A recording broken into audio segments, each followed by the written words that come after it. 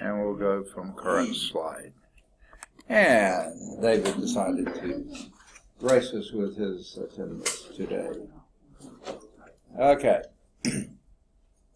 Question? Here Or, last I'm sorry? I wasn't here last Thursday. What did we do? okay, you weren't here last Thursday. What?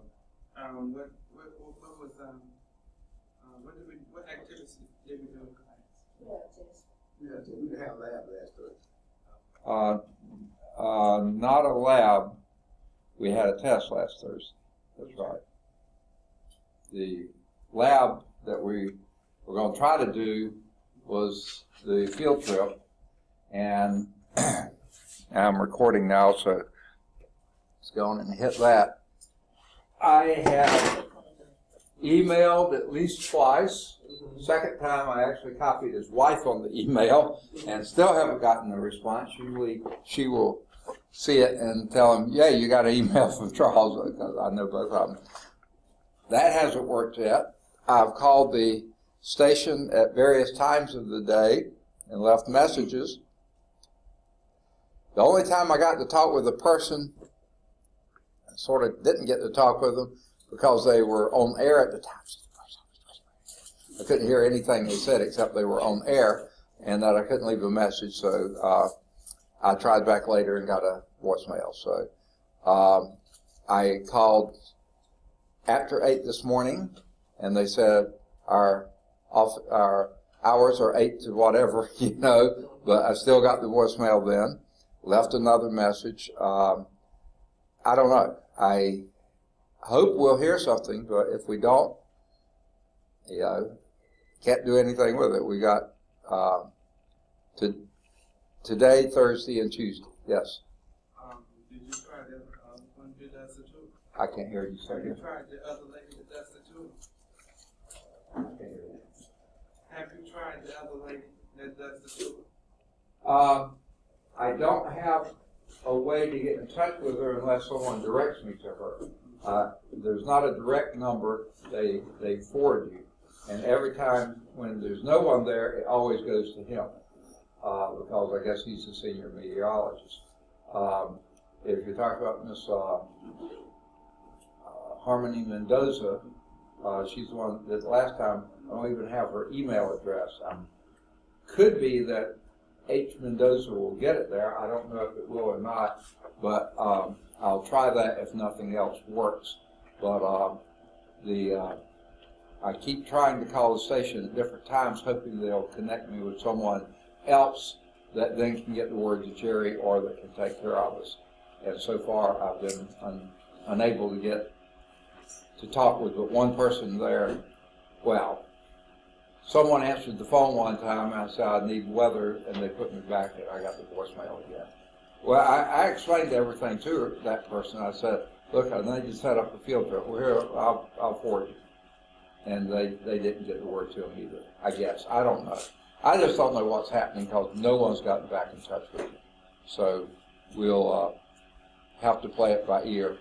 I'll try again after class today, and uh, if nothing, say I have two hours in the morning in the office, I'll try again then too. Uh, but the trouble is, if I don't know by in the morning, basically, I'd like to know today because if we are going to go and I need to get in the van, I have to get all that paperwork done tomorrow so I can get the van, you know, on, on Thursday. And I don't even know when I'll get the van on Thursday because it's I've got classes straight through.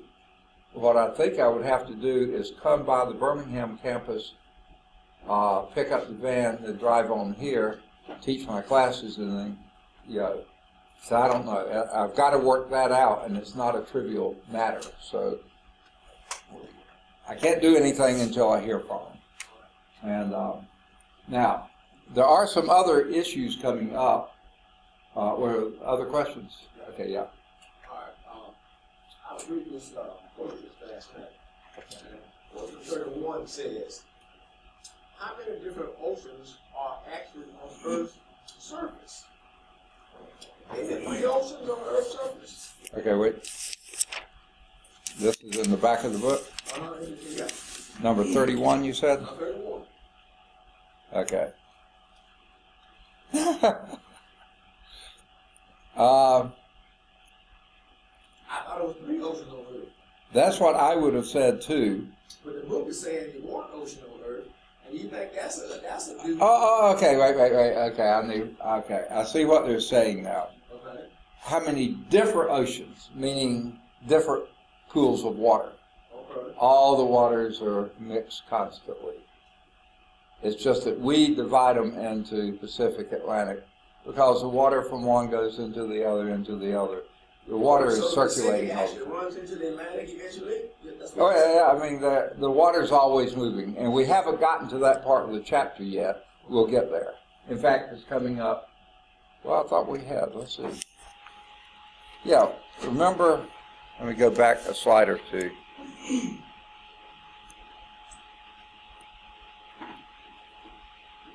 Yeah, the Earth's seawater completely mixed. In other words, every drop of water that was in the Atlantic is mixed with water in the Indian, was mixed with water in the Pacific, is mixed with water and all the sea, stuff. A complete mixing happens every 2,000 years. So in effect, there's one big body of water. We just sort of separate it so we can name and say which one we're talking about. That was a nebulous question. Yeah, and then thirty-two Yep. says the largest of the three coastal ocean regions on the of Earth is Atlantic, Pacific, Indian. Okay, which one? 32? Thirty-two. The largest of the three principal ocean regions of the Earth. Mhm. See, they put in the regions there. Yeah, Is, and it would have to be B, right? right, Pacific, right? Huh? Yes, B would be correct. Right. Oh, yeah. But yeah. See, the difference in those, how many different, that was the key word there, different oceans are actually on the Earth's surface. There's just one ocean because the oceans aren't any different from one another. That's what the key was there. And then the 32, the largest of the three principal ocean regions of the Earth. That meant, how do we name them? Se- separate them. I had never looked at those before, but yeah. So that was most questions, and certainly I don't pick a test question that's ambiguous like that, you know, so, or I try not to anyway. Uh, and again, this chapter, I had to do a lot of filtering to get to, so maybe whoever wrote the question for this was a little out there. because uh, now that I think about it, I did have to do a bit more, be a bit more diligent in my picking of the questions. Okay. I think we were here, where we left off last time. Uh, but l- let me go over a few announcements first. Um, Remember I said last week that I had to go to a meeting down in Opelika at Southern Union.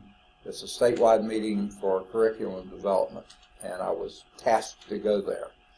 Uh, we left at six in the morning, and we got back earlier than I had feared we would. We got back at, uh, I think we were back on campus close to 3.30, maybe a little after 3.30. Anyway, it was a nine and a half hour day even then. And uh, so I'm only supposed to work four hours on Friday. So I asked my boss if I could have this Friday off too, and he said yes. So I will not be on the Birmingham West campus this coming Friday, 8 to 12, like I usually am. There's just some things we've got to take care of, and I couldn't. My only free time during the week is Friday afternoon, and I lost it last Friday, so I'm going to try to uh, make up for that this Friday. Okay, so that's uh, that. Now, next week is, it won't affect this class any, I hope anyway, but next week is going to be a weird, weird week for me. Um, I think I told y'all early in the term, probably first day, that I have a mild case of leukemia. So I have to see my hematologist usually two or three times a year. He has to check all the, you know, do the blood work and stuff like this. So my next appointment is coming up Tuesday. He only sees patients on Tuesday mornings. So it won't bother this class any, but I will not be here from nine o'clock until probably getting pretty close to noonish. Okay? My appointment's at ten forty, but I have to leave. Um, I have to be there at nine forty for blood work, and then I have to. That means I have to leave campus by nine. So I'll come in at eight, teach my eight thirty class for thirty minutes, leave, go there, miss my nine uh, ten o'clock class, and probably miss the first part of my eleven thirty class. And hopefully I'll be back sometime between eleven forty five and, and twelve o'clock. But I'll be back for this class, so uh, knock on wood. Okay. He doesn't see patients after in the morning, so I'll be back here by one, I hope. Okay, so, uh, but don't look for me earlier in the day. I may be back in the office by twelve thirty. No, twelve forty-five is when I normally eat lunch. So I may, I'll probably be back by twelve forty-five. I'll be in the office twelve forty-five to one. Okay, and my work study student said you came by this morning. You're on, and uh, yeah, uh, you know, Tuesday, uh, Mondays and Wednesdays I'm in the office eight to ten. Uh, Tuesday and Thursday eight to eight thirty. Uh, and then And the, I missed you this morning. I got Yeah. there about ten thirty, something eleven, and she said she was already gone. Yeah, I, yeah, I'm, I'm in class on Tuesday and Thursday from eight thirty until five forty-five, but I'm in the office eight to eight thirty, and then, uh, uh, the other time that I'm in the office is twelve forty-five to eleven fifteen, I mean one fifteen, right before this class, and then right after the class is good too. Uh, but today, I'm almost certain we're gonna finish early, so there'll be plenty of time to pick up that then. Okay. So anyway, Tuesday, I won't be on campus from nine till somewhere close to twelve because of my doctor's appointment. Then on Thursday, and why is this all happening in the same week? I don't know. On Thursday, Asia came. Okay. Uh,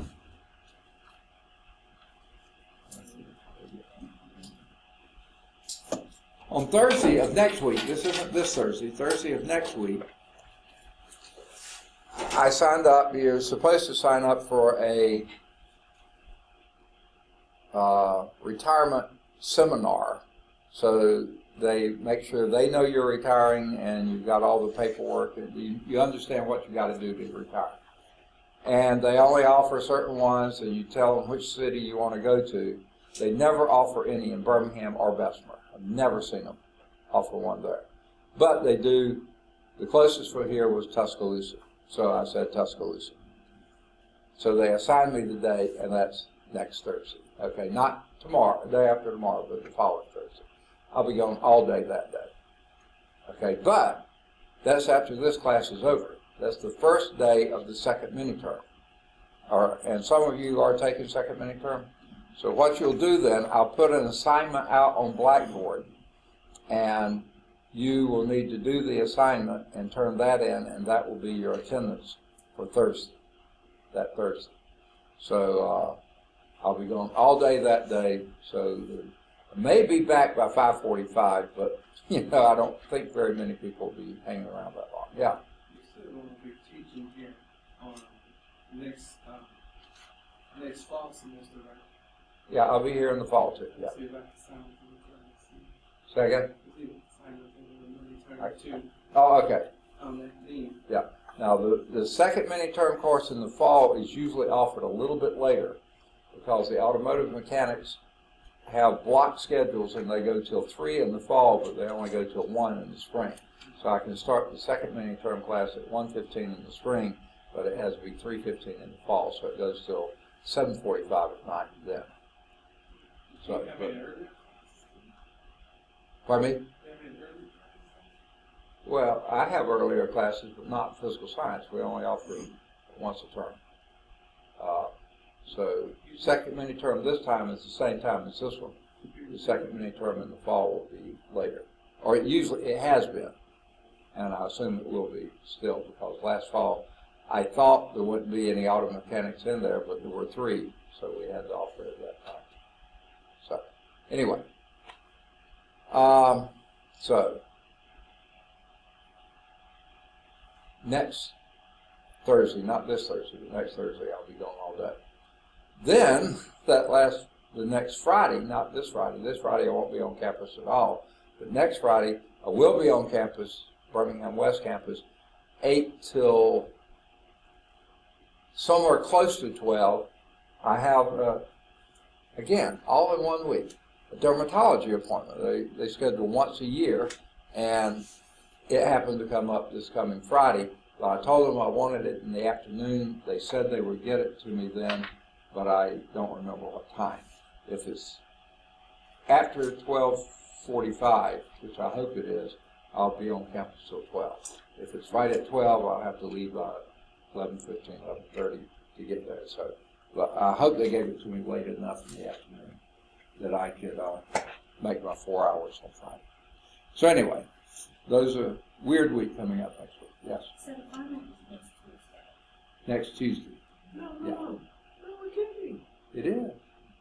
I thought you said you was gonna give us out. Is that? Papers back this Thursday, Yeah, and then the final will be next Tuesday.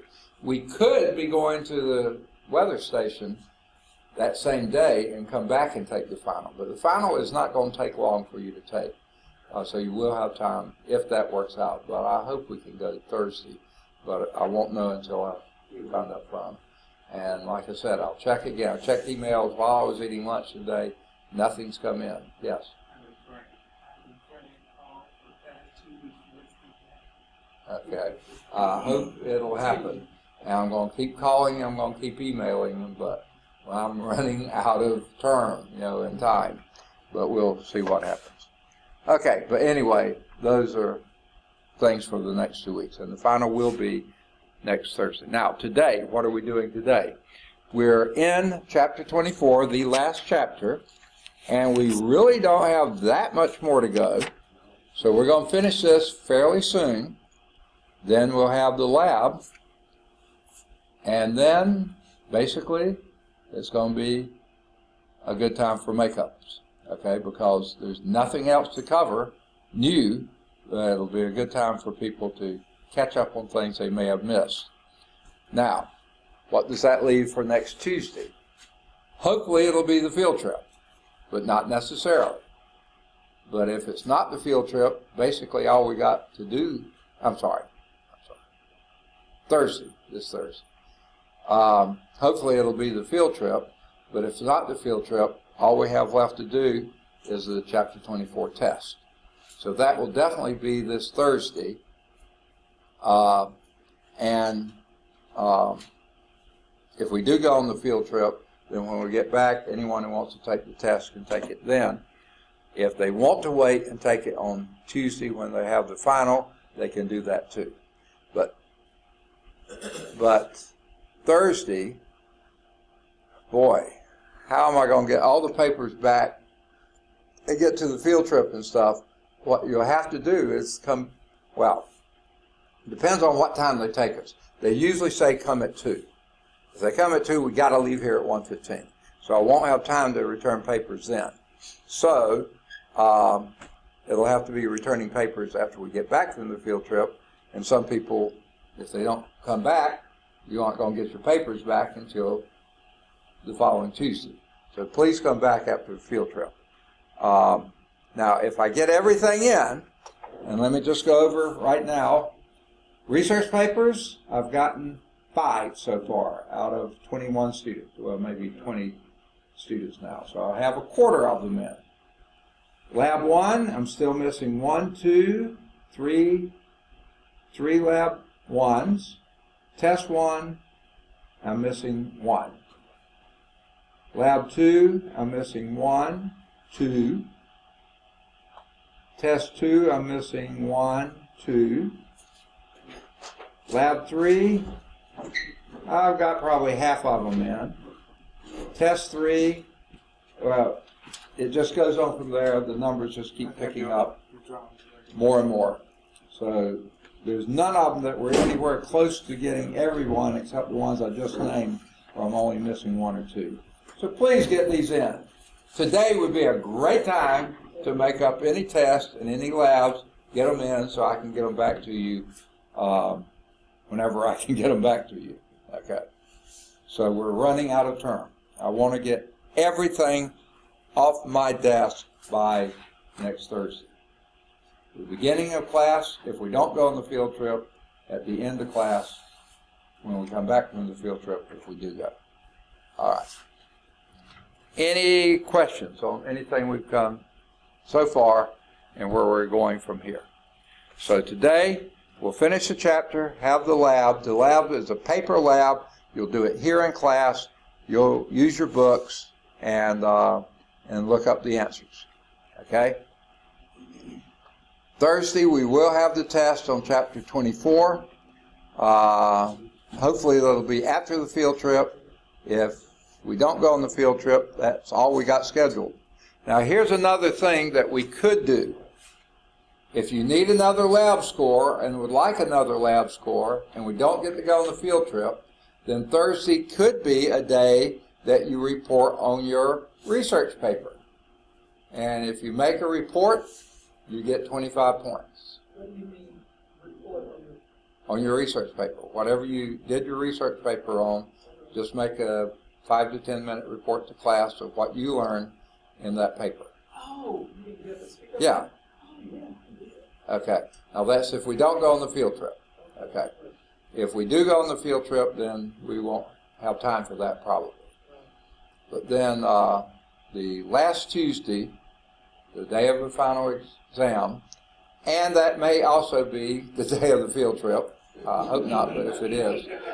Uh, but if we have the field trip that day, there probably won't be time for pizza.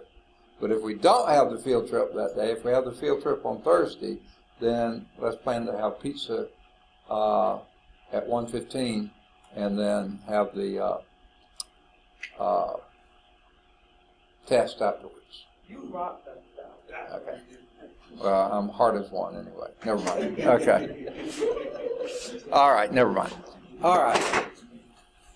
Where we left off last time, we were talking about the, let me just go back one slide. We were talking about swells, waves, that kind of stuff. Well, what happens when these things, which go over the open ocean, I was on the ship in the Navy, you could see the swells and the waves, we'd be miles from anywhere. They're still out there. They're always out there. Okay? What happens when you get close to shore? Okay? Several things happen. One thing, and I don't know if they have a good graphic on this, I don't think they do. That's a little bit of one, but not really much of one. Let's see if the next one. Yeah, this may become, uh, it's not even a very good one either. No. Okay. I thought there was something in the book too, but it doesn't really show that well. So anyway, one thing that happens, the waves, if they come in straight toward the beach, which these are showing they're doing, then they just come in and go out and come in and go out. Okay? But if the waves are coming from an angle to the beach, and that's why I said there's not a good graphic on this, they bend the shoreward side. Let's say here's the beach right here, and if the waves are coming in like this, this end of the wave is going to hit the beach before this end does. It slows down, and they bend. They refract. That's what refraction is, is the bending of the uh, waves. The shore side wave slows first, and then the wave front bends toward the shore. Okay? This doesn't show it. None of the figures show it very well. Uh, and I think the a previous edition showed it a lot better than this. I guess the best picture of this might be the one at the bottom of page 622, figure 2419, and you see here the waves hit you can't, it's still not a very good picture, but they're bending toward the shore. Uh, you see, these out here are closer than the ones over here because those waves hit first. Now here there's a promontory, so that bends it too, the other way. So that's what they mean by refraction. The wave fronts bend toward the shore. Okay? Now, another thing that happens. The waves, the deep water waves are coming in in waves and swells like this. Everything's fine. But remember from an earlier slide that the, this is a weird combination here. The wave height is here, and the wave, the water motion is sort of a circular motion. It doesn't get carried this way or that way. It's sort of a circular motion. It goes up and down, up and down, goes a little forward, a little back, a little forward, just follows that. But then beneath that, beneath the trough, the circulation gets less and less until you're, and this is strange, one half wavelength, there's one wavelength, one half wavelength down from uh, the middle of the wave height, past that line, there's no movement at all. Okay? So all your movement is happening in one wavelength down, or half a wavelength down from the, uh, the center of the wave, which is it's a weird combination. One half of the wavelength this way from the middle of the wave height that way, that determines where. So that's where the motion's occurring. No motion down here. So basically what that means is, okay, out here in the deep water, the waves are just doing what they do and the circulation is almost straight up and down, okay? But then when you get near shore and this starts running into the friction of the land that's underneath, then the top of the waves go faster than the bottom of the waves. So that's why you have the crests now start breaking over the troughs. And that's why they call them breakers or surf zone breakers. Out here that doesn't happen because everything is moving as it should. When you start running into the bottom down here, the friction drags this back and moves, but the top part of the waves move over, so they start breaking over the top. So that's why they call them breakers.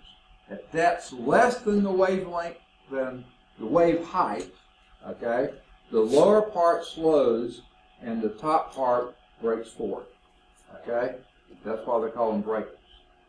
Uh, the surf is the breaker formation zone. That's where those guys that get out there and gals that get out there on the surfboards and ride the waves when they're breaking. Out here, it's no fun at all. Okay? But here, where they're breaking over the top, this is where they get in it and start breaking. And that all de- uh, partially depends on the topography of the bottom of the ocean. Okay, the whatever's down there, what kind of drop off you have, and, and that type of thing. They say that some of the best waves anywhere are off the coast of Hawaii. I think the northeast shore seems to be just the best. The waves come in well there. The the bottom is such that it really makes the fine uh, surfing there. I don't know. I don't care. Okay. Okay. The water is transported toward the shore by the breakers. Okay. The water is coming up here with the breakers, but guess what? It hits the beach and then runs back down. Okay. Now, I think these two arrows don't make sense. I would have put the forward arrow on top and the down and the return arrow on the bottom. It really doesn't matter, but that's indeed what happens. The water runs back down here, and that also contributes to the breaking, the surf breaking over the top because not only do you have friction with the bottom, you also have returning water here that drags the, the base backwards again and makes the, the surf break over the top. So the water transported toward the shore by the breakers must return. That creates what they call the undertow, which is these arrows down here. I would have put that one on the bottom. Direct return of water under the breakers.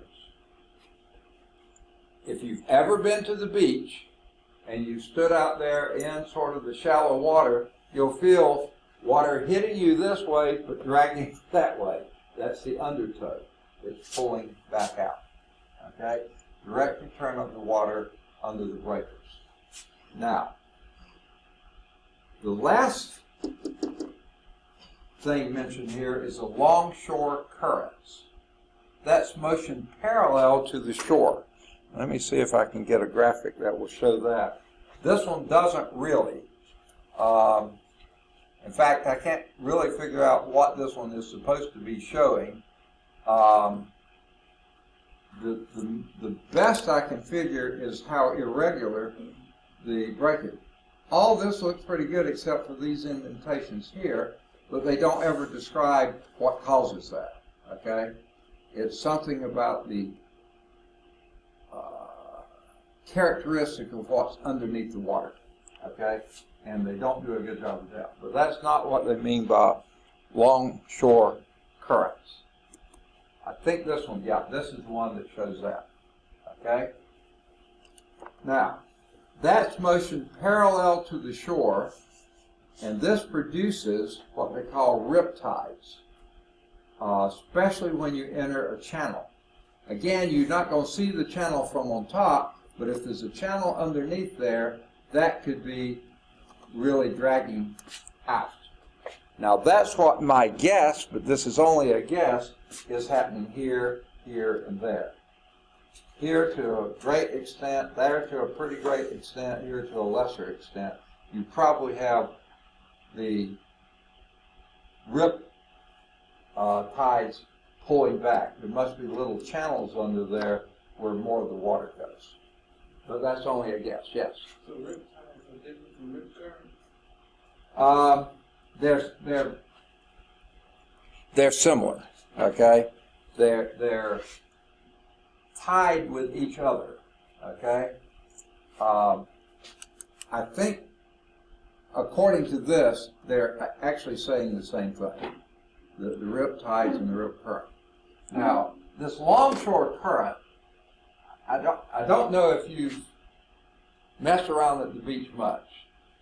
I had never very much, but when after I got married, my uh, my wife's family loved to go to the beach every two or three years. They plan a special trip down to the beach. So I started going to the beach, and it, it was okay, but I like shade. You know, there's not much shade on the beach. I would stay under the umbrella as much as possible, but I like that. uh, I would get out and, and, and mess in the water some, try to do a little body surfing, that kind of stuff. But here's something I noticed. I would go out from wherever we were set up, go out and start doing in, and then go back out and doing in. When finally I'd get tired, I'd come back to shore and I wouldn't recognize anything. And that's because these longshore currents, which I never realized were dragging me down the beach. And then I'd have to figure out which way they were, try to figure out by the, well, that looks like where we came from. And I would walk then for, it seemed like at least a quarter of a mile before I'd finally get back up to where everybody was. It had, those longshore currents will do this. You don't realize they're doing it. And that probably comes from that bending of the waves, that diffraction, refraction that we were talking about earlier. And they really can drag you right on down the beach. Now, uh, there's Eric.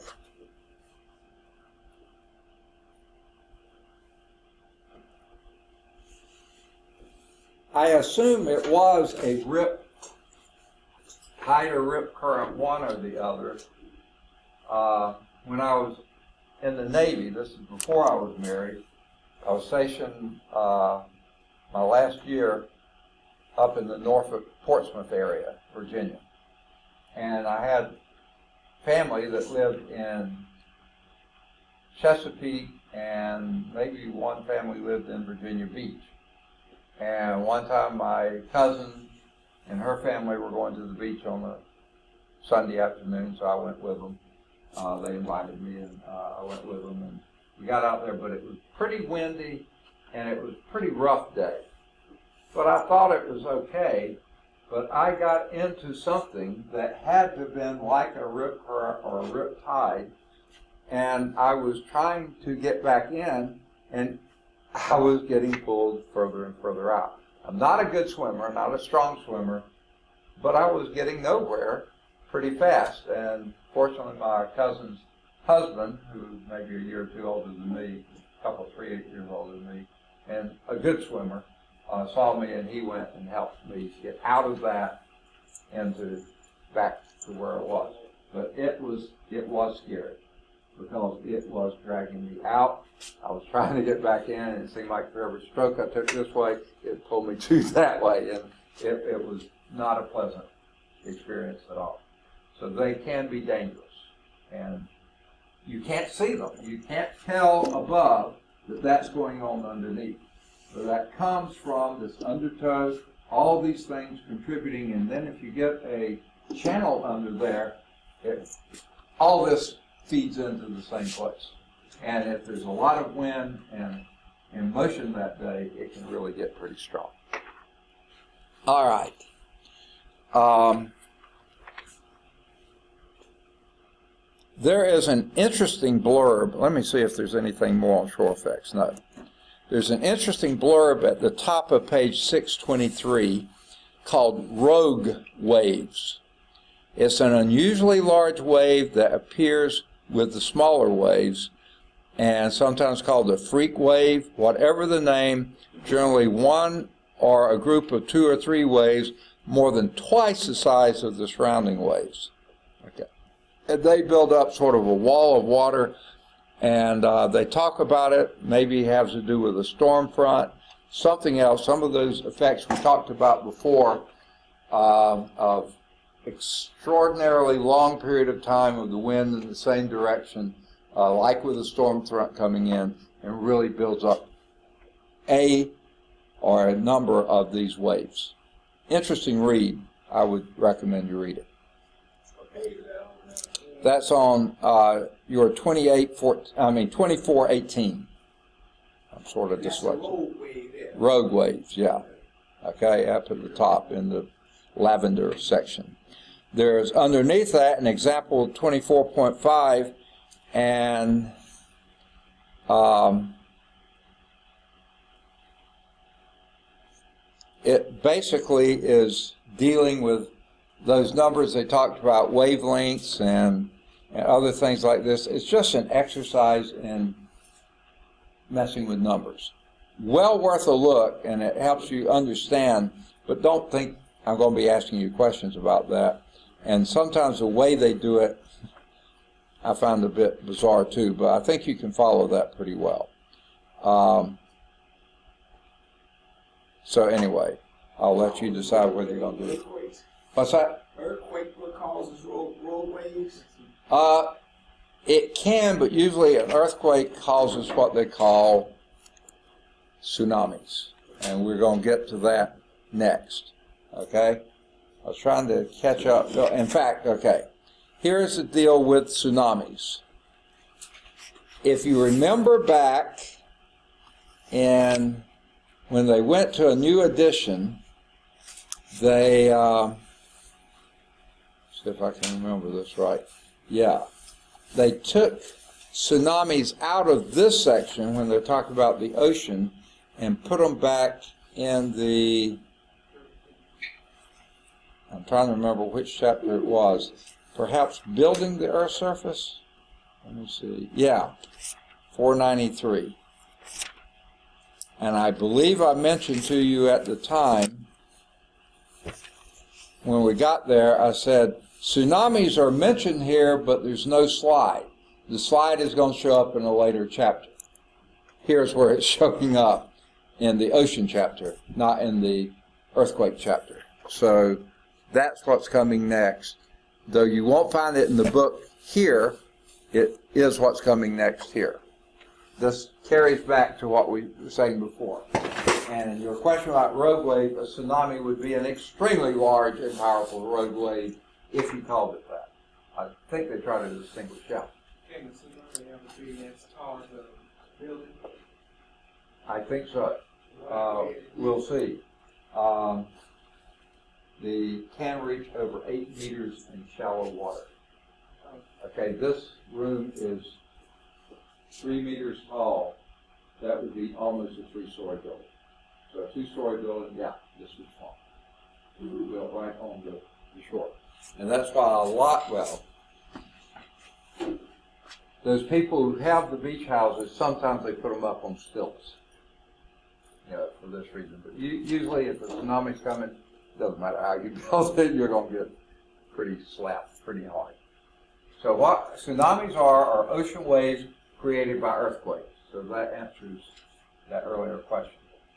It can be the largest of any of your ocean waves because this is caused by something not dealing with wind and things like this. This is dealing with underwater So disturbances. that's, that's, What's that? that means that it's something that happened underwater. Underwater, the earthquake, yeah. Okay, The- underwater earthquake. Underwater earthquake, exactly. And a lot of them will happen down there when you have a ocean ocean subduction, and that really can't happen. Yeah. Don't know actually that question about the tsunami being as tall as a building. Yeah. Have you seen the movie Twenty Twenty? No. Well, in majority of uh, the second half of that two-hour movie, the um, the Earth crust was moving, and then what causes those giant tsunamis that goes above the clouds was the Earth tectonics. I know it sounds like sci-fi stuff, but Yeah. I'm just saying. um, More psi. Yeah, okay. I was just saying. I was just I was wondering, can not well, it's not so much of a similar thing, but can a tsunami get half as high as that? I'm not saying you go all to the clouds. Can it get a little bit tall, like 500 feet? But it doesn't Well- have to go, I'm, I'm sorry. Yeah, go It doesn't have to go that high, but the power behind that, Right. the power behind it, because I watched the, the, like, the real one, mm, where, Yeah. what's the name, I think of the name, got killed in it. But they, they saw it way What? Yeah. away, and they just thought it was just, you know, the water just coming in, just the top, you know, and it was coming and coming, and when it came, it hit, it took the whole village away. Right. People was like, Yeah. did that really just happen? Yeah. You know, because it's powerful, the, the, the power. Amazingly powerful, and, and this hits some of it. The physical characteristics, what you're talking about, the speeds approaching 700 kilometers per hour. Now, putting that in miles per hour, that would be about 420 miles per hour. I don't want to mess with that. Okay? If you see it out there, you better get moving because it's coming faster than you can run. Okay? Okay? Um, the wavelengths, this is just unbelievable. 200 kilometers? That would be 120 miles wavelength between crest and crest. And if there's a couple of them coming, yeah, hey, you might make it another one coming. The wave heights up to five tenths of a meter in deep ocean. That means out there in the deep ocean, that tsunami may not be more than this. But you see, most waves out there are really short. Now it's up this high. But by the time it gets to shore, it can reach eight meters. That would be between two and three stories of this building here. Okay? Taller than this part of the building, not quite as tall as the other part down there. Uh, in shallow water. And that's at that speed, that much energy, wow. Now, remember back when we did, I believe it was volcanic eruption. No, the biggest earthquake recorded before either these slides were done or the book was done was a nine. And that was, I think, in southern Alaska. Okay? A 9.0 earthquake. There may have been some bigger than that since then, but 9.0. It caused a tsunami that traveled all the way down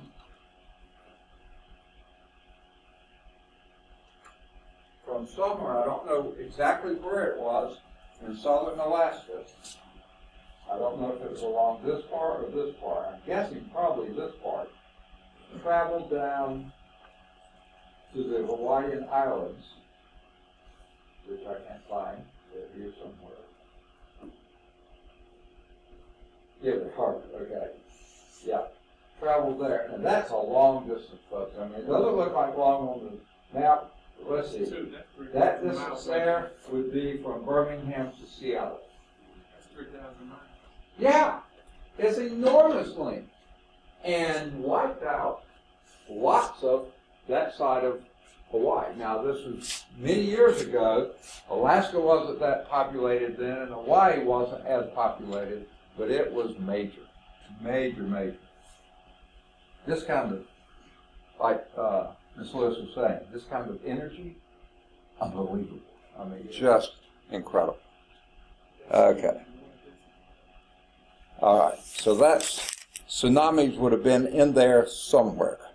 Okay, so what we've been talking about, okay. Now, this is another thing that's a little out of place from where we did it. We did the tides back in the moon chapter, and we had almost the same, um, not the same graphic, but we had one titled the tides and we talked about how the moon and the earth, sun affected those. Okay? Now they're talking about them just in terms of the water effect produced by the earth moon gravitational attractions already described back in chapter whatever that was, uh, 16. Okay? The basic pattern of two high tides and two low tides every 24 hours and 50 minutes, okay? So there will be some days, not very often, you only have either one high tide or one low tide, but most days you have two and two, okay? Every 24 hours and 50 minutes, okay? Now, these can produce strong reversing tidal currents in narrow bays. Uh, now, I read a novel, I guess it was, it was a mystery type thing. And this person had figured out almost a perfect way to dispose of a body. Happened to be in one of these narrow bays. Uh, they had performed the murder, so to speak, and then got the body out there at just the right time. The tides came in, and the tides went out, and the body was never seen again. So they had trouble proving there was a murder because there was no body. Okay, and that was the whole thing. But that can be, and that's what they mean by reversing tidal currents. Things look pretty normal at one time of day, but then the tide comes in, pretty strong current coming in, and then it stays there for a few hours, and then very strong current, reverse, going back out.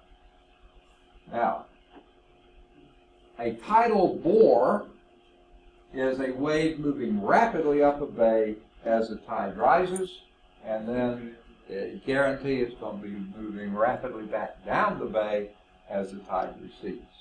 Okay, so uh, we don't have much of that around the Gulf of Mexico. Remember when we studied that? Almost the minimum tidal effect on the planet is the Gulf of Mexico. It's about half a meter or something like that, which is almost nothing. So, yeah, you don't have anything like that here. I think, uh, seems like Nova Scotia, the way they're shaped and stuff like this, that may be bad. Um, there was some place over in England, I think, was where the uh, this story was done, and some of those bays uh, are shaped such that they really have severe. And as they say in London, on the Thames River, and London is quite a ways upstream. The Thames, I'm pretty sure,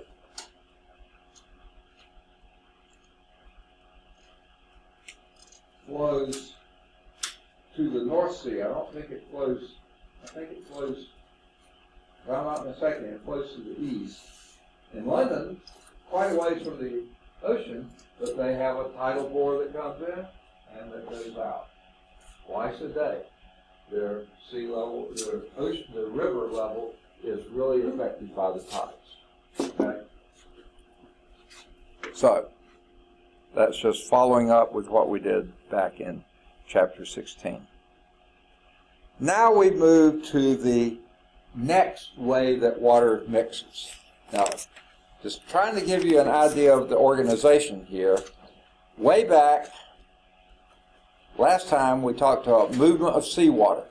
We said there were two major movers and shakers, okay? One was the waves, that's the surface movement, and we've just finished with those, and now we're going to the second of these, which are the currents, the ocean currents.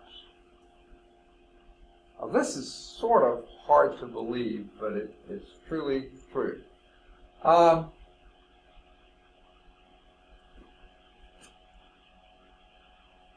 there are.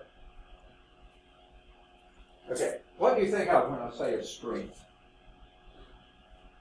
Okay. Here we are in Alabama. I think of a stream as something sort of like Village Creek, you know, small movement of water, okay? Much smaller than a river, but you know, a stream, something like that, okay? Well, that, that makes sense because land is dissected and it flows downhill. That, that makes sense. But believe it or not, in your oceans, you have streams underneath the surface that are carrying water, okay? That are mixing, that are uh, the movement of water that you don't see on the surface. So these are streams transporting water over large oceanic distances along roughly the same path all the time. Okay? That's what we mean by ocean currents. And these are produced by two major effects here. And I find it hard to believe that this one's really this major, but they claim it is. The density differences in seawater. Okay? Now, why are there dis- different density differences? One reason would be temperatures. Colder water is denser than warmer water.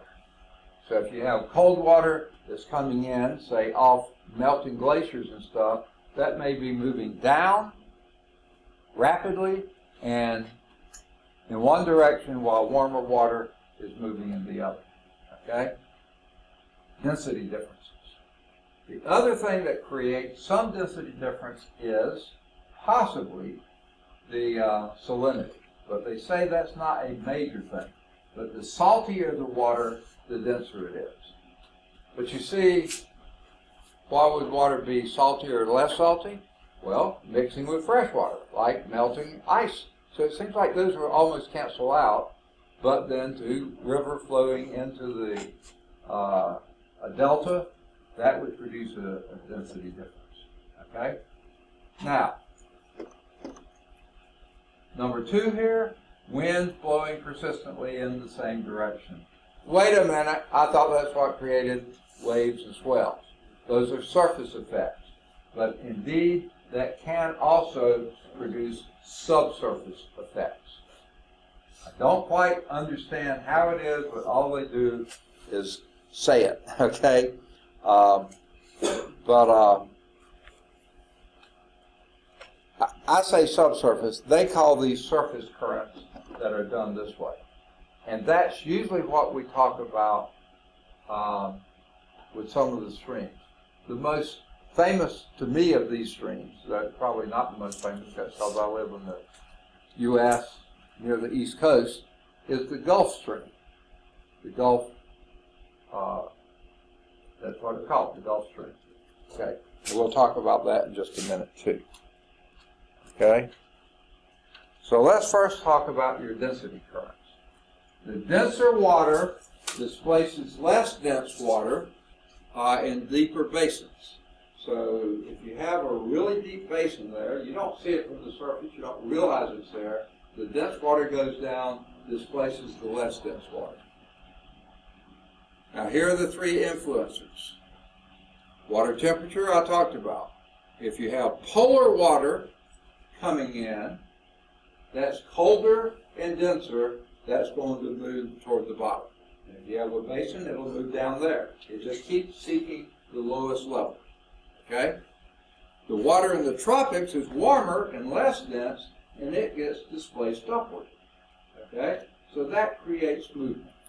The cold water moving down deeper, pushing the warmer water up. So there's one, water temperature, creating a difference. Difference in density. The second, as I mentioned, was salinity. This is salt accumulation. And what are some of these mechanisms? Well, when you're freezing the water near the poles, you're freezing the water but leaving the salts. So the water around there gets more saline, more salty, and therefore denser. Okay? On the other hand, when you other thing that create increases the salinity, evaporation uh, in warm pockets like the Mediterranean Sea, that increases the density because you're losing water but not losing salts. But on the other hand from that, okay, if your ice is melting near the poles, then you've got fresh water coming in. If you've got runoff in warm pockets, as in the Mississippi River running downstream, the Nile, any of the major rivers dumping into the ocean, and where they dump into the ocean, they are now decreasing the salinity, so you have a change of uh, density because of that. And then tied with that, this runoff part, suspended sediments.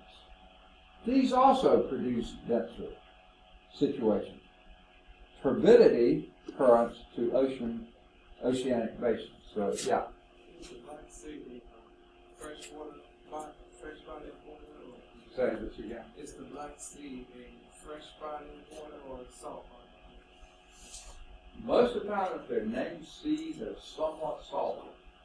I don't know if it's as salty as the ocean, but I bet you it has a larger salt concentration.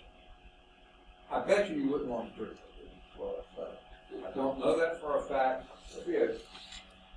Google. See, see what, what you get there. Didn't used to be able to say that, now y'all got instant answers all the time. Okay.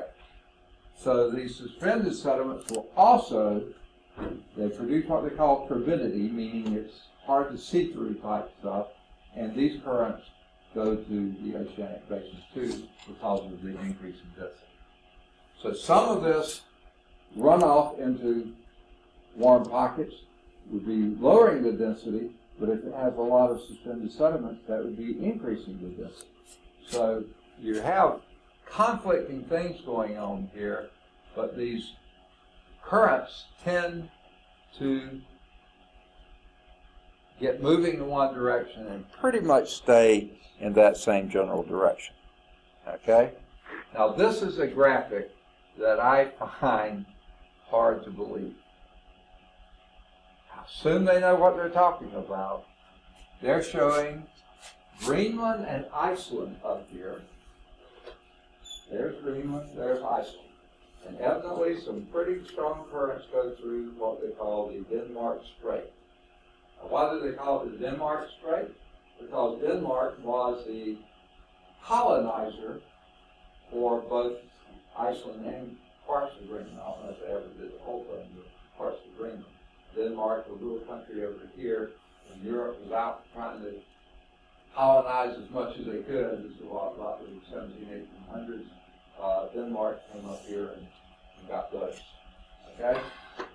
Now, this cold, dense water coming off the Arctic, up here, off the Arctic, down through the Denmark Strait here, heads downhill. Okay?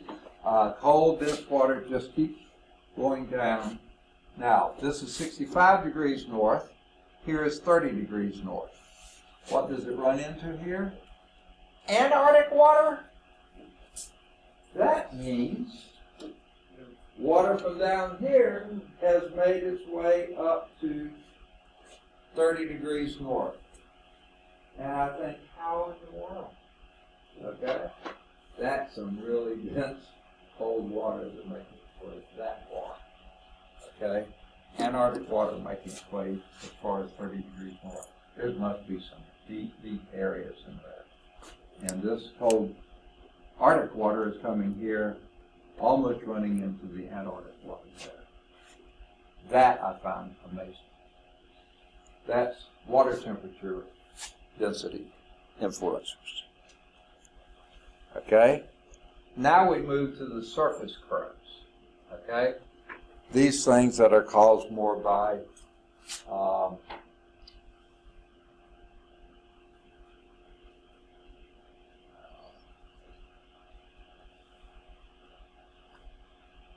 it, all of these contribute somewhat to the surface current, but more the, where was the graphic that said? Yeah, the wind, you know, this is it, wind blowing persistently in the same direction. So the next slide is this one, the one after that, that's the density. Here's the surface current. These are global circulation patterns maintained basically by patterns of prevailing winds. And remember, the winds don't always blow in exactly the same direction, but basically the prevailing winds dominate. Okay? And here's Antonio. Okay?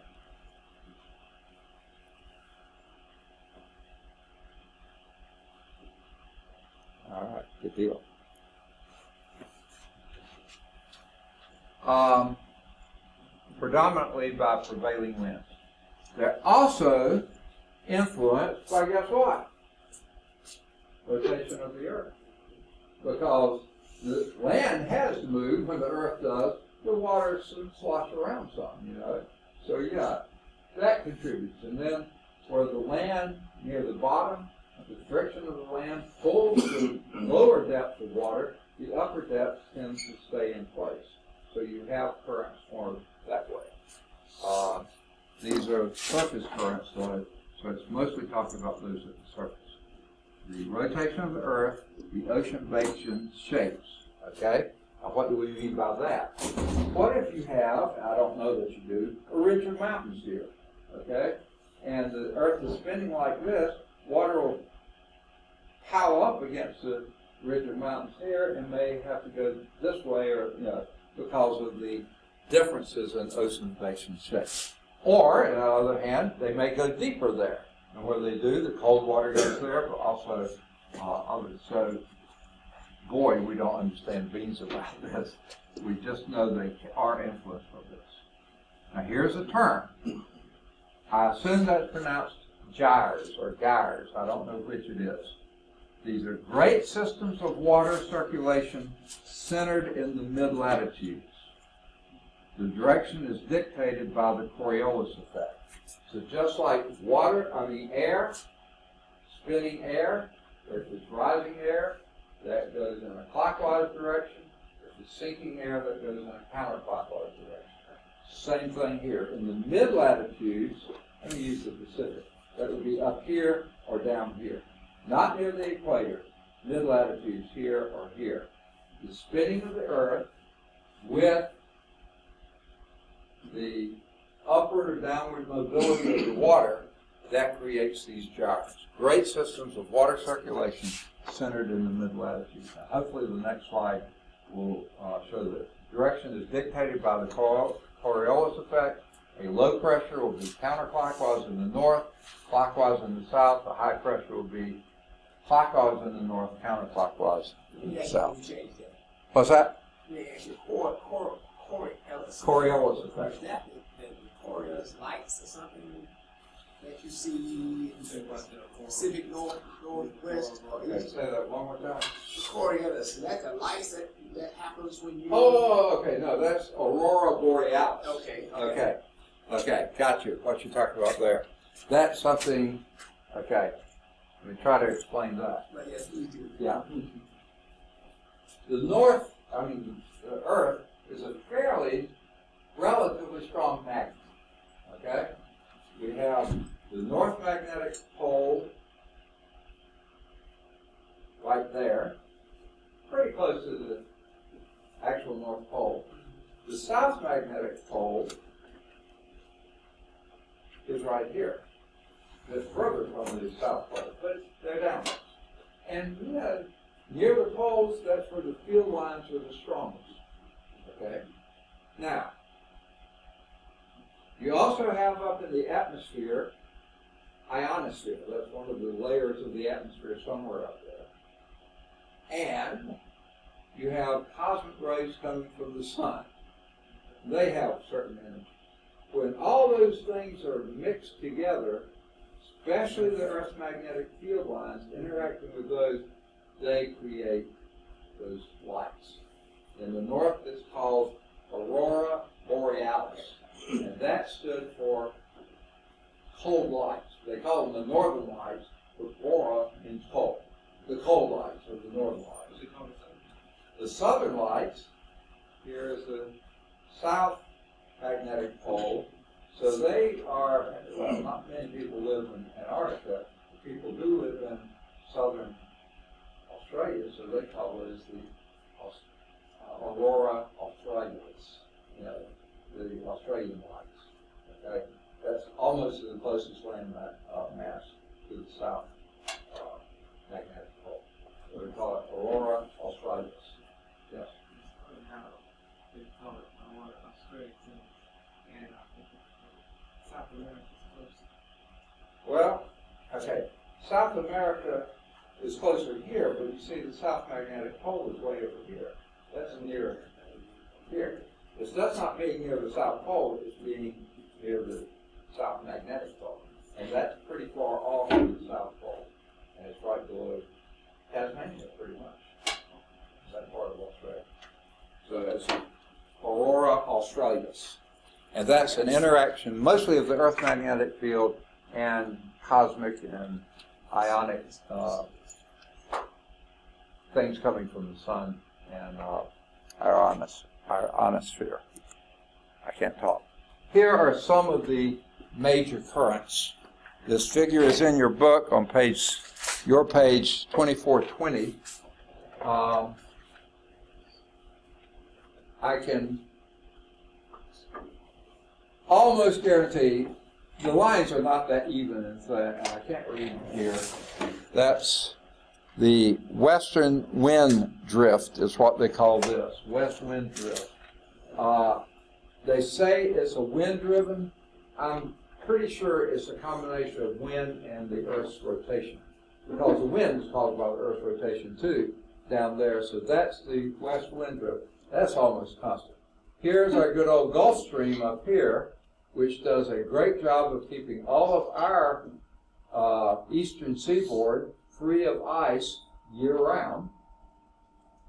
Does the same maybe for a little bit of Canada, but then you've got the um, Newfoundland currents coming down here that tend to freeze northern Canada. So that is competing uh, currents here. But the North, the Gulf Stream continues on up here and keeps England and Ireland and Scotland free of ice. So pretty much Scotland up here is pretty cold. Uh, and then twist around down here. Poor old Scandinavia and the rest of the North Sea, even though it's about the same latitude as England, it gets frozen over.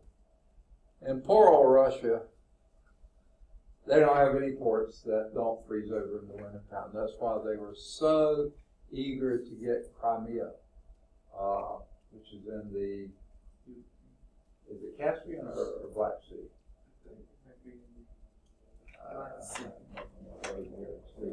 But, you know, when they were Soviet Union, it was perfectly fine because they were all together. Yeah, it's in the Black Sea. And there's Crimea. That's Russia's only ice-free port year-round.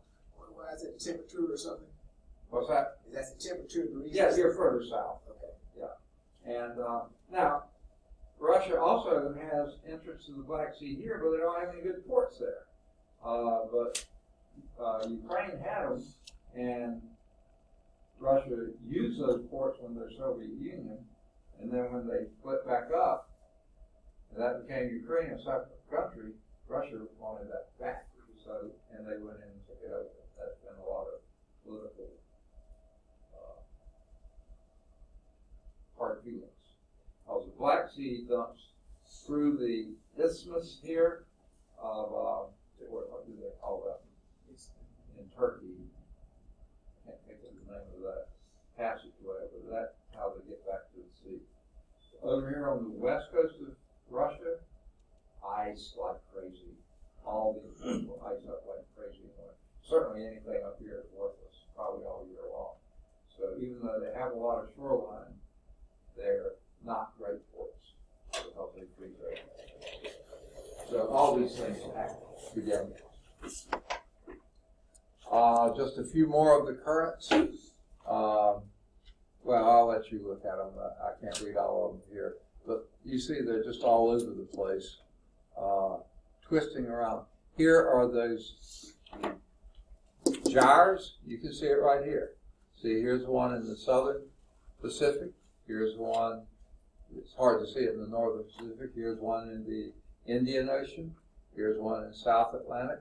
Here's one in the North Atlantic. See, they go in opposite directions, north and south. Okay? Those are the gyres, the great systems of water movement. Here's the edge of one here, but you don't see all of the Pacific here because that's where this splits up. So anyway, those are the gyres, and those are just some of those ocean currents. Okay? Now. Whoa. Okay. Let's talk now about what they call the ocean floor. So this is section 24.3. And at the top of this page, there's a blurb on Rachel Louise Carson, U.S. biologist, conservationist, and campaigner. Her writings on conservation and the dangers and hazards of many modern practices imposed on the environment inspired the creation of modern environmental movement. She's largely responsible for it. I'll let you read that. She is, uh, uh, she's written a couple of books. The Sea Around Us, I think, was one. Uh, the Edge of the Sea was another. The Silent Spring, I think is her most famous book. Um, so anyway, good little blurb on her. If you choose her for a paper topic, good topic, but this cannot be a source. This can be your idea, but you'll have to go outside the book to get your source. Okay. So let's move on to the ocean floor. Okay. Now, there are some things we do know about the ocean floor. There's a lot we do not. Especially on our Atlantic side. Okay? We have a pretty decent, what they call a continental shelf. Okay? Um, let's see if we can get the graphic up to talk about it. Um, if you, like I said, I was in Virginia Beach. I guess that's the major beach I've been to on the Atlantic side. I went to Charleston once, but didn't really go out. Um, but in Virginia Beach, you can go, it seems like hundreds of feet out, still be walking. And then you'll suddenly hit a sandbar and you'll be walking on top of it, you know, above the water. And then you'll drop down a little more, and it goes on for a long time. That's called the continental shelf. Now, it can be eroded uh, at the continental margins, okay? In other words, what was land here is eroded away, and this maybe used to have been a beach up here, but it's eroded away, so now it's below water. That's what they're suggesting your continental shelf was. It's relatively shallow water. And you may not be able to walk in it all, but sometimes you have to swim a little ways and you can walk in it some more. So it moves on out there for quite a ways. That's mostly on our east coast. Okay. Then they have what they call the continental slope. That's probably was the original boundary, and that's where the continent dropped off, and you're moving down into the thing, continental slope. It's steeper the, a steeper transition feature beyond the continental shelf. Okay. Here's Ricaria.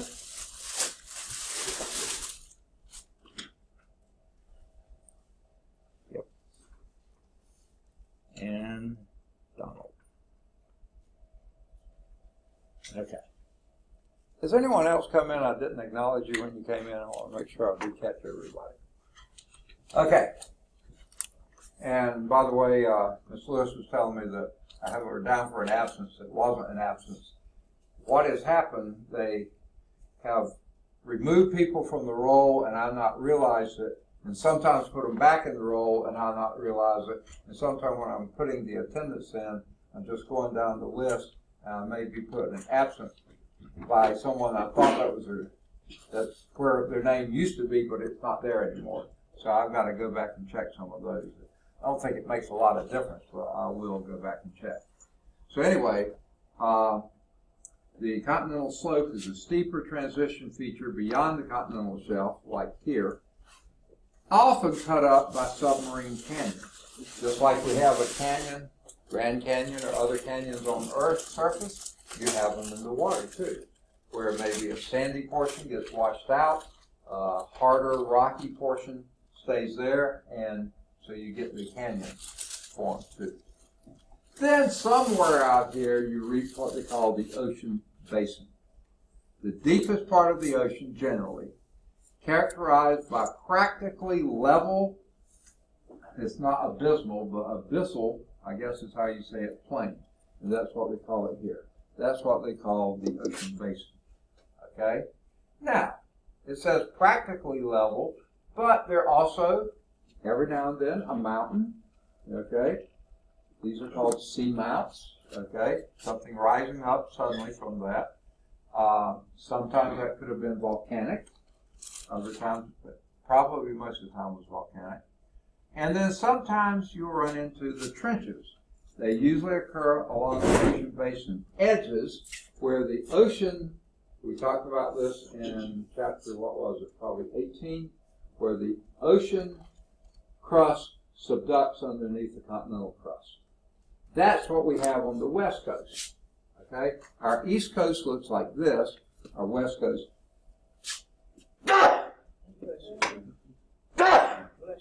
Thank you. Looks more like that. And like I said, I can remember going out from San Francisco Bay through the Golden Gate, and if they were taking soundings and stuff, just all of a sudden the bottom got way down there, and then started coming back up. That was the oceanic trench. That's where the Pacific plate was subducting under the Pacific plate, uh, the uh, North American. Okay. Now, you have volcanic peaks that form scattered seamounts. These were the seamounts. Sometimes they reach the surface, like the Hawaiian Islands, like this one would create the uh, Iceland and its islands. And then all those island chains, for instance, uh, Japan, the string of islands that make up the country of Japan, they were volcanic seamounts at one time that kept growing until they passed the surface, just like the Hawaiian Islands did. Okay? And boy, do we not understand most about the ocean floor. Okay. Now, this graphic is pretty, in my mind, it probably shows how little we know about it. This is our best guesses of what we understand about the oceans now. Of course, what is this line? This little light blue line that makes its way down here from Iceland down here. We talked about this in an earlier chapter. The mid-Atlantic ridge, sometimes it's called, or uh, yeah, mid-Atlantic ridge. And that's what this one is. That is a uh, divergent plate boundary uh, where the uh, plates are spreading apart and you have that ridge there. You have ridges in the Pacific, all over along the Pacific. You have ridges in the uh, Indian Ocean between Australia and Antarctica. Uh, lots of different ridges there. I don't know if they all are uh, diverging plates, but you do have the ridges along there. They could just be island chains or, or uh, plate subductions. Uh, that could cause them too. Okay. But not only do you have the ridges, you have the trenches.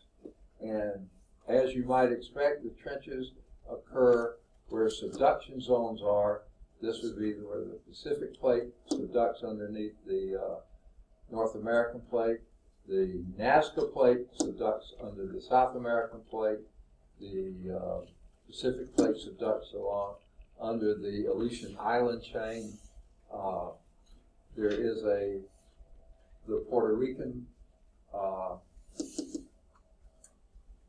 uh, trench where this string of islands, Cuba, Hispaniola, and, Puerto Rico, uh, that is an island chain where there is a trench. It's part of the uh, North Atlantic subducts underneath that portion. And then you have other trenches over here in Indonesia, near New Zealand, uh, near the Philippines, the Philippine Trench. The Marianas Trench here, anyone know why that's fairly famous? Yes. It's the deepest. The deepest point on the globe. The deepest point of the Earth's crust is the Marianas Trench. It's way, way, way down there.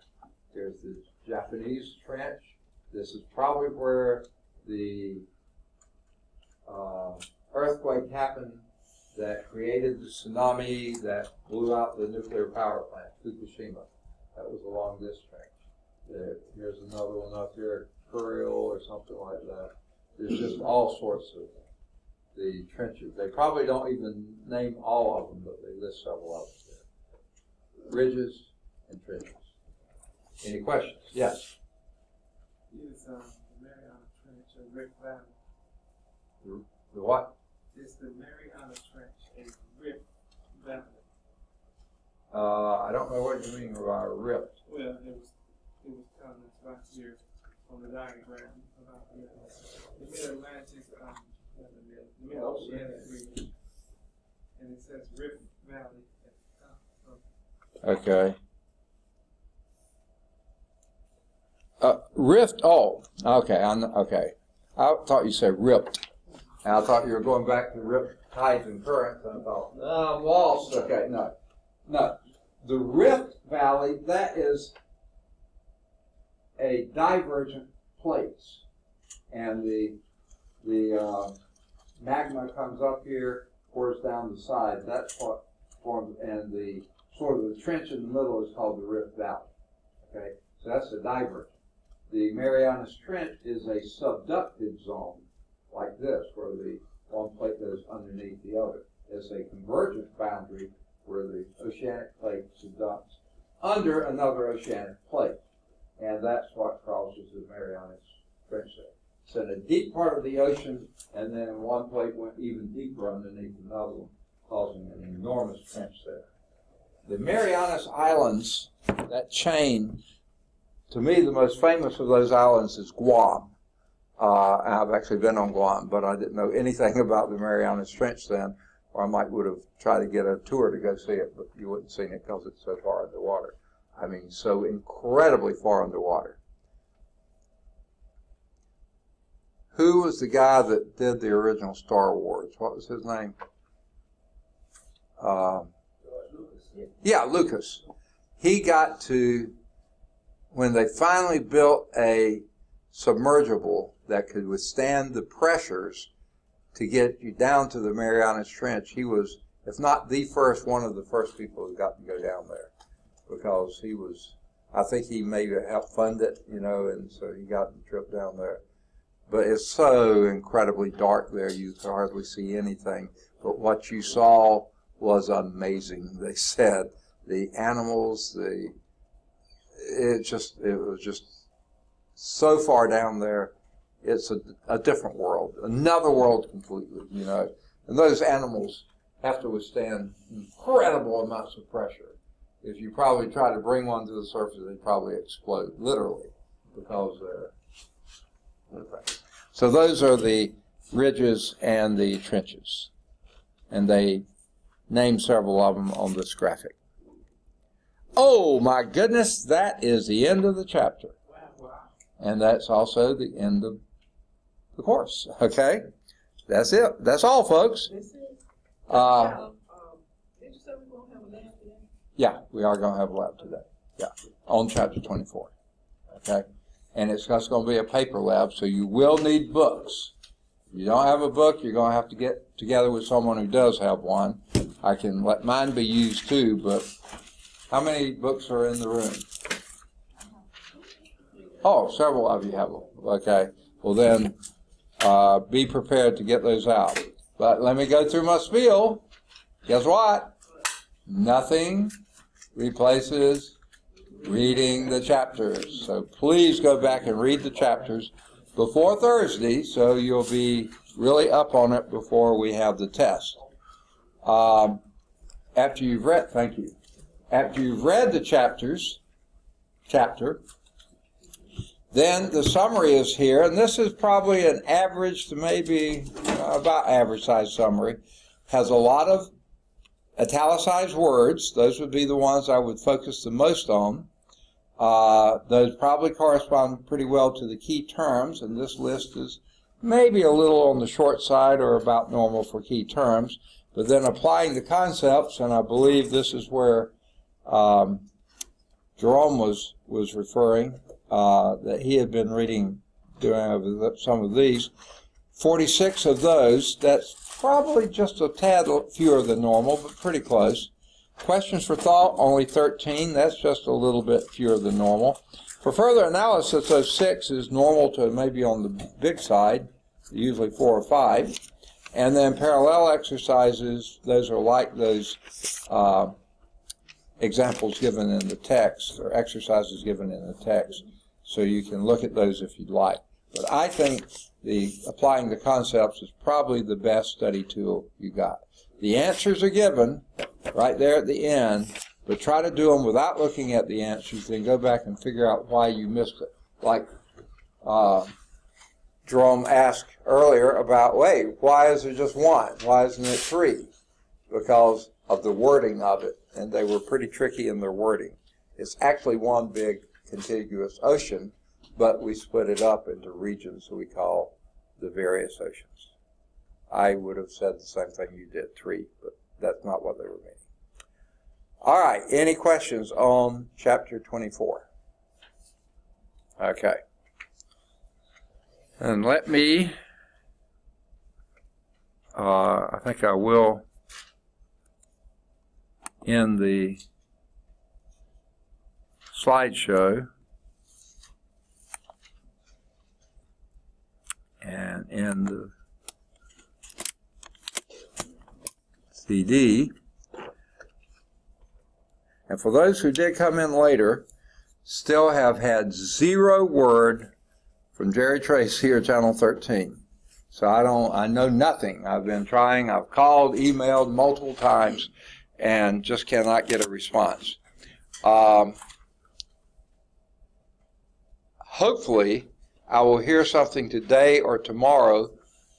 It's going to be tough to try to arrange the transportation with such short time that we've got, but I'll try to get it done. If I can't get a van, can we make it there carpooling and stuff? You think we can? So I'll try my best to get the van, but I can't guarantee it. Uh, so anyway, we'll try for Thursday at the very latest Tuesday, and uh, that's all. That's all we got left. Um, now, we'll do the lab for chapter 24 now. Then we will do on, if we go to the channel 13, most of the time they want to set the 2 o'clock time frame. So we won't have time to do anything on Thursday, but just leave and go there. But when we come back from there, I'll return your papers to you. So I need all the labs and all the tests finished today or tomorrow or before class on Thursday. Okay? All of them. Anything not done, losing points. Okay? Now, so Thursday, if we do get to go, we'll go probably at 2. That's what time they usually say to come. Then we'll come back here and have the test on chapter 24. Okay? And uh, I'll return papers to you, and then we'll have the test on chapter 24. If we don't get to go on Thursday, but he can take us on Tuesday, then what we'll do on Thursday is report on your research papers. So that means, and by the way, they are due by Thursday because Tuesday of next week is final exam day. So the research papers are due by the last day of class, which is Thursday, day after tomorrow, Thursday. Okay, so you ought to have your papers in by then, and then you can report on the papers, and that will count as a lab. If you do any kind of report, five to ten minute report, that will count as a lab for you, 25 points just for reporting.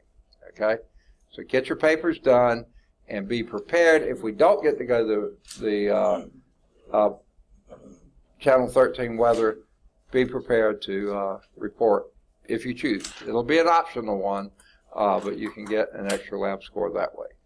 If we do get to go to the station, we won't have time to report. Okay.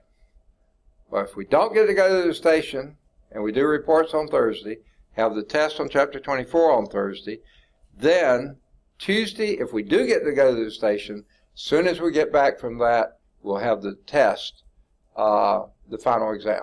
Okay, that's scheduled for Tuesday. Okay. If we don't get to go to the station either day, then Tuesday, what we'll do is come in here, have pizza, and then take your final exam. So, uh, uh, but we'll talk about that when we see what's happening with the other. Okay.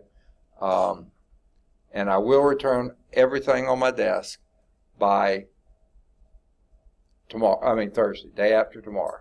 It's all going back. So anything not turned in today, tomorrow, or before class on Thursday, not going to get scored. Okay. of pizza we gonna be? What's that? What type of pizza we gonna be? Pizza. Well, yeah, we'll. What kind or what Yeah, what kind? varieties? What kind? Both? Huh? Yeah, I'll, I'll let you, y'all decide what kinds you want. I'll ask. Okay. Uh, I'm going to have to get Little Caesars. That's the only one close enough to get.